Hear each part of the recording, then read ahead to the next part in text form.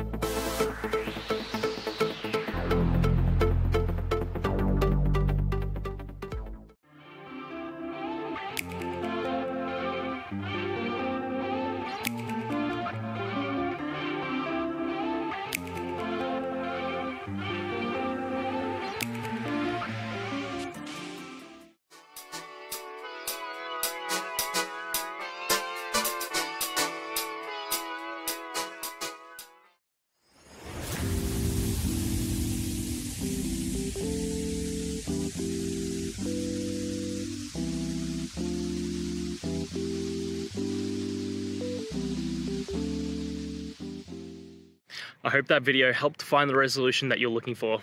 And if it did, please, I'd appreciate it if you could hit subscribe. Until the next time that you need more technical help, I hope you have a great one. See ya.